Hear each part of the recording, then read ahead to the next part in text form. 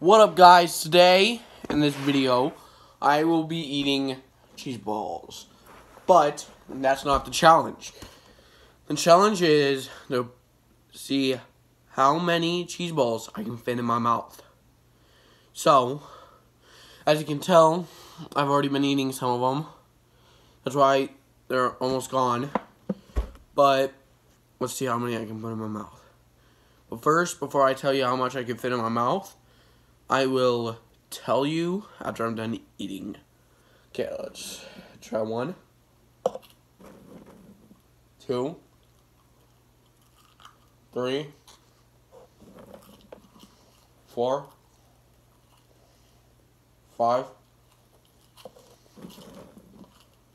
six, seven,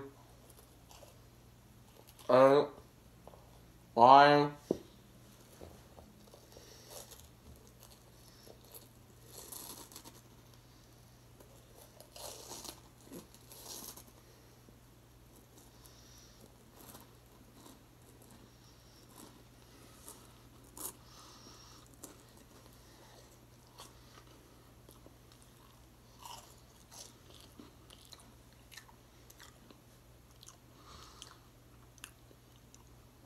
I can fit exactly nine cheese balls